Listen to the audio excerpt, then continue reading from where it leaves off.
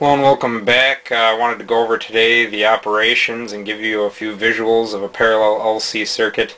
Our uh, red inductor right there and blue capacitor make up our parallel circuit.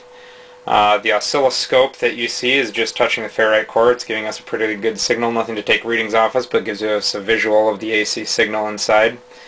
Um, the amp meter is inserted in series with one of the leads of the signal generator so that we can get an input power reading.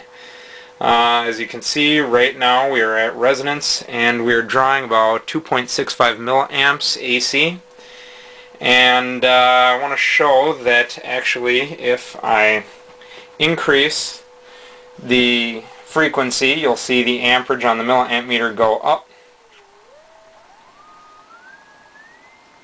can see it's going up quite steadily 80, 90, 100, 120, 130, 140 and so on. You'll also notice that as I go the amplitude of the wave decreases and it tends to max out with resonance. So back at resonance here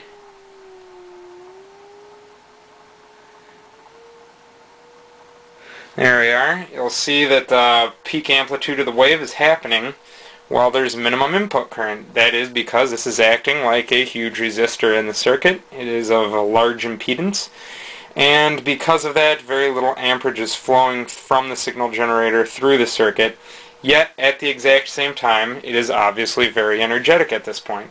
This is incredibly important. One thing I did not include in this is an amperage reading within the LC circuit itself, but a little bit of common sense and knowing your basic laws will tell you that the amperage and the voltage are going to be interchanging with each other cyclically within there. And uh, this will be the point at which amperage is the highest at well, as well inside this circuit.